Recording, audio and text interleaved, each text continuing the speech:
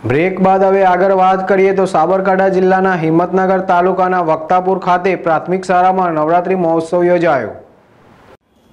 હાલ નવરાત્રિ પર્વ ચાલી રહ્યું છે. ત્યારે પ્રથમ અને બીજા નોરતે જાણે મેઘરાજા જાતે ગરબે રમવા આવ્યા હોય એવું લાગતું, પણ ત્રીજા નોરત્યાથી ખેલૈયાઓ માટે હોય તેવું લાગ્યું હતું. આજે રાત્રિના સમયે દરેક જગ્યાએ ગરબા ગવાય છે. પણ આ ગરબાનો લાભ દિવસે દિવસે સ્કૂલો, કોલેજો, સંસ્થામાં યોજવામાં આવે છે. જેથી બાળકોમાં ઉત્સાહ જોવા મળે એવા, એવામાં જ સાબરકાંઠા જિલ્લાના હિંમતનગર તાલુકાના વક્તાપુર પ્રાથમિક શાળામાં આજ રોજ જગદંબાના નવ દિવસના નવરાત્રિ આરાધના પર્વ નિમિત્તે ગરબાનું આયોજન કરવામાં આવ્યું હતું. તમામ બાળકો ખૂબ જ ઉત્સાહથી અને શાળા પરિવારોએ ગરબા ગાવામાં ભાગ લીધો હતો.